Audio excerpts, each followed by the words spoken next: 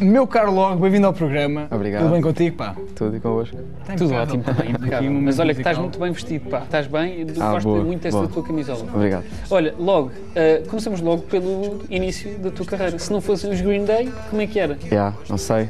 Pá, hoje hoje já, não, já não são uma banda que me influencia assim tanto, mas na altura teve boa importância. Mas queres contar esse, esse percurso com os Green Day na tua vida? Já, os Green Day, pá, foi o meu pai que me apresentou aos Green Day, por assim dizer. Eh, e eu gostei particularmente daquele estilo musical, do punk rock e hard rock, e por causa disso mesmo quis ter aulas de guitarra. E, e depois da guitarra foi tudo a seguir, foi começar a, a- a tocar guitarra e a aprender a tocar guitarra e a seguir para acompanhar o que eu estava a tocar na guitarra comecei a cantar. Mas cantar, tiveste disso- aulas de, de canto ou foi... Uh, tive, mas bem mais tarde, ne- nessa altura. E quando comecei a mostrar às pessoas que cantava, com covers no YouTube e assim, não tinha aulas de canto, nem nada, precisava, mas não tinha.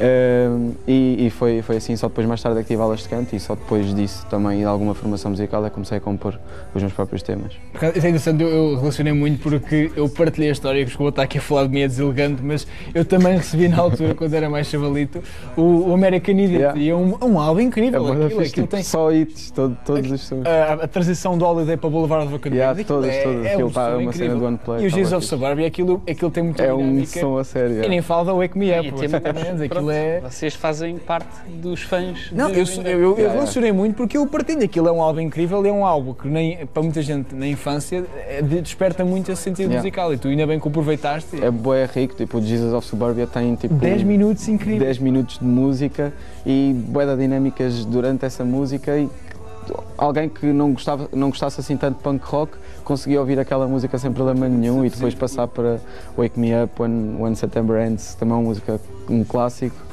Tu nessa, É altura, tu nessa altura davas concertos eh, de covers dos Green Day ou ainda nessa altura não Eh, tinhas chegado? Nessa altura propriamente não, eu comecei, eu comecei, comecei a fazer covers no YouTube e depois disso vieram covers de vieram concertos com covers, mas não tanto Green Day porque eu também não aventurava a cantar, a O que é que- cantar o que é que muito Green cantavas Day. O que é que tu cantaste no teu primeiro concerto? essencialmente, lembro-me, era essencialmente pop e clásicos portugueses, tipo Anel de Rubi, eh, Sim, ok. eh, Homem do Leme, depois em inglês cantava I'm Yours, Jason Mraz, dos Green Day cantava Time of Your Life, Good Riddance, é. e pá, Brian Adams, eh, Summer of 69, Olha, era tu mais também, tu depois, tu nunca perdeste o teu foco na música, mas de repente aos 16 anos começas eh, a trabalhar, não é? Yeah. Eu comecei, quis começar a trabalhar desde cedo, não foi, não Mas foi porquê é que um tu tomaste essa decisão? Foi alguma coisa, achaste que era dúbio o caminho na música? Ou... Não, não, não, para já nessa altura eu gostava de fazer música, mas não estava longe de mim pensar que ia fazer música a sério algum, algum dia.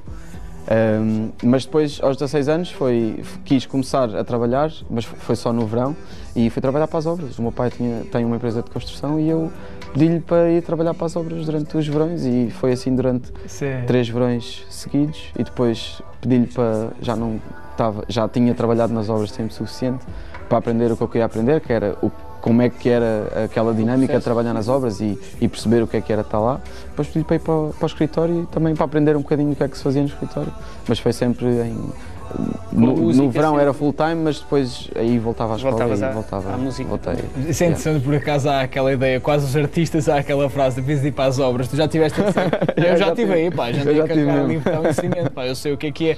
E agora, falando agora do single que tu lançaste, 20 e tal, e que também fala de, de uma música que fala de maturidade e de pressão social, e da tua parte, da tua experiência, o que é que, o que, é que para ti este tema representa? Eu não senti propriamente em mim e, e não senti que a pressão tivesse sido comigo, mas vi muita gente à minha volta e de certa forma também alguma coisa comigo, mas não propriamente e muito focada em mim.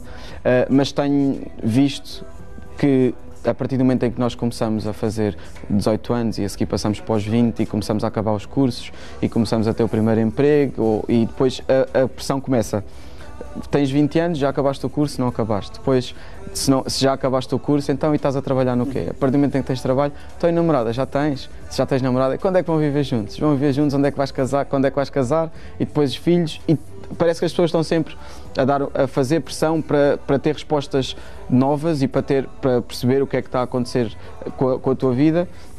E de certa forma acho que isso coloca alguma pressão nas pessoas que recebem essas, essas perguntas.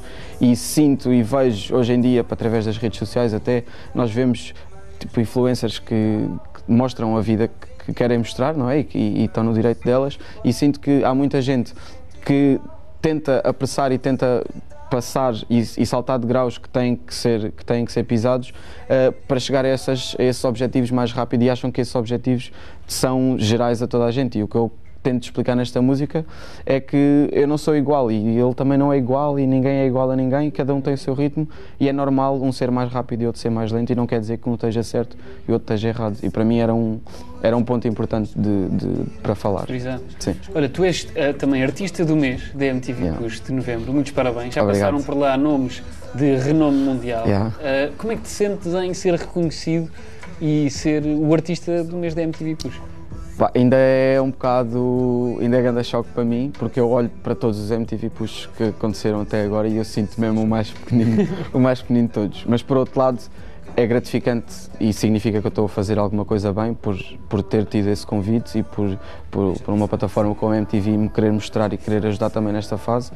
E é acima de tudo o que eu sinto em relação a isso é gratidão e é e sinto também uma grande responsabilidade em daqui para a frente continuar e, e, mostrar que, que mereci estar ali e que não foi uma coisa só de uma vez. E o que é que podemos esperar do logo para 2022? Vem aí novo EP? Uh, eh, vem aí mais música, acabou de sair agora o 20 e tal e vou dar algum tempo e estou em estúdio com vários uh, compositores e produtores uh, a trabalhar em novos temas.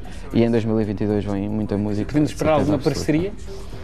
Ainda não Ainda vou não falar podes sobre regular. Isso. Mas podemos, mas podemos, sim, sim, sim, podemos sim, eventualmente especular que. Sim, eu ainda não fiz nenhum feat, já vou no, na nona ou na décima música sem nenhum feat, porque eu quero mostrar a mim primeiro e quero que algum feat que venha depois uh, desta fase, depois de tantos singles e de um, de um EP uh, eh, já lançados, quero que esse feat tenha mérito e que eu o consiga alcançar e que ninguém olhe Só para assim. mim e diga hum. pá, ouvi este, este gajo porque tinha lá um apareceu, apareceu no, no Instagram ou no YouTube de alguém e eu quero sempre fiz assim o meu caminho, em fazer as minhas coisas só por mim e a trabalhar para isso, e é assim que quero fazer na música também.